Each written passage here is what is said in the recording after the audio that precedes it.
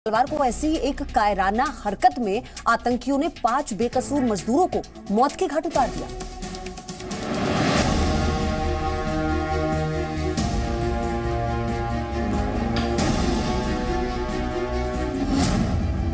कश्मीर में अमन से बौखलाए आतंकी।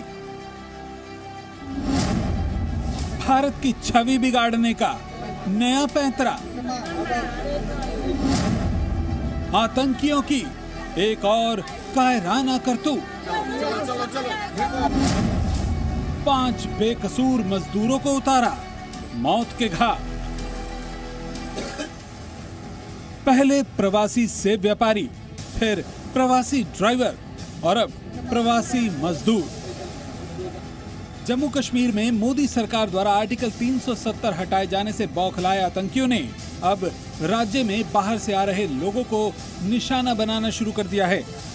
कुलगाम में पाकिस्तान प्रायोजित नापाक आतंकवादियों ने मंगलवार को जम्मू कश्मीर में अपनी रोजी रोटी कमाने आए। पाँच बाहरी मजदूरों की हत्या कर दी, जबकि एक अन्य मजदूर गंभीर रूप से जख्मी है। सूत्रों के मुताबिक मारे गए सभी मजदूर पश्चिम बंगाल के मुर्शिदाबाद ज़िले के रहने वाले थे। हमारा पास फ़ोन आया बोला, जी, तुम्हारा गाँव में ऐसा ऐसा हाल है, पाँच आदमी को कश्मीर में गोली कर दिया। तो हम लोग नींद से उठा उठा, उधर गया तो देखा पुलिस का गाड़ी आया, बड़ बबू आया। वो लोग को बोला, ये ऐसा ऐसा बात है? हाँ हमारे पास खबर है। हम पूरा तदंत करेंगे, छानबीन करेगा, उसके बाद तुम लोग को बताएँगे। हमारा गाँव का 90 परसेंट आदमी आज से 20 साल पहले ही जाता था हमको दस बजे फ़ोन किया था थाने से। बोला कि आपका गाँव का सागरदिघी थाना का जो कश्मीर काम पे गया है वहाँ हमला हो गया। वहाँ हमारा गाँव का पाँच आदमी डेथ हो गया। आतंकियों ने अपने इस कायराना हमले को उस दिन अंजाम दिया जब घाटी में यूरोपीय सांसदों का एक बड़ा प्रतिनिधि मंडल हालात का जायजा लेने आया हुआ है।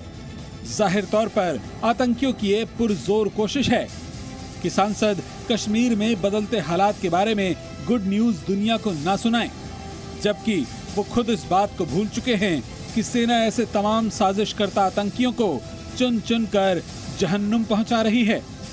इस तरह की खबर हमें मिली है, उसमें पाकिस्तानी सेना को और उनके वहाँ जो आतंकवादी इन कैंप में मौजूद थे, उनको भारी नुकसान हुआ है। इस वक्त तक जो खबर है हमारे पास वो छः से दस पाकिस्तानी सैनिक मारे गए हैं और तकरीबन इतने ही आतंकवादी भी मारे जा चुके हैं। जैसे जैसे जम्मू कश्मीर के अलग केंद्र शासित प्रदेश बनने की डेडलाइन, यानी 31 अक्टूबर करीब आती जा रही है, आतंकियों के हौसले, उनकी कायराना हरकतों के ज़रिए और बढ़ते जा रहे हैं।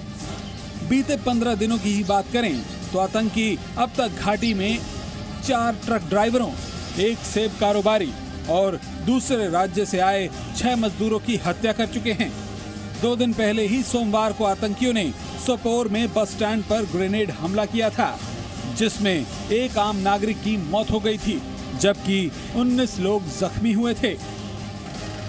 आर्टिकल 370 हटाए जाने के बाद अपनी अथक मेहनत और तैयारी से कश्मीर में अमन और शांति पैदा कर सुरक्षा बलों ने बड़ी कामयाबी हासिल की है।